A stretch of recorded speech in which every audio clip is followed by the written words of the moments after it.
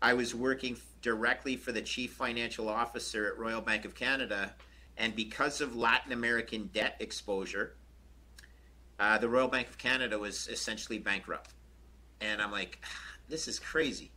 I worked six years, go to school, come back and work in Canada's largest bank, and it's bankrupt.